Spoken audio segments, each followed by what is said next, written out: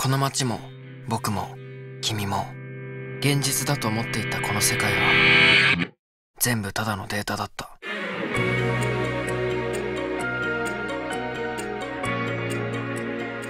10年後の僕あなたは一体何しに来たんですか？お前に彼女を作るためだ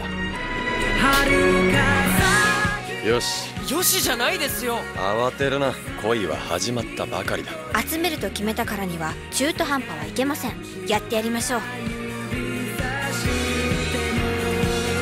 何にやついてんだ？いた気がついてないですよ。僕一行さんが。付き合い始めてすぐの頃に事故は起こった。助けたいです。僕も。彼女を守るぞ。はい急げ直美。一行さん何？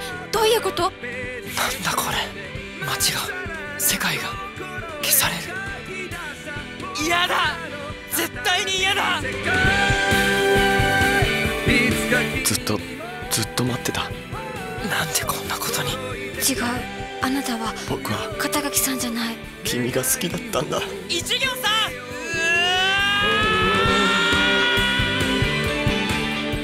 ハローワールド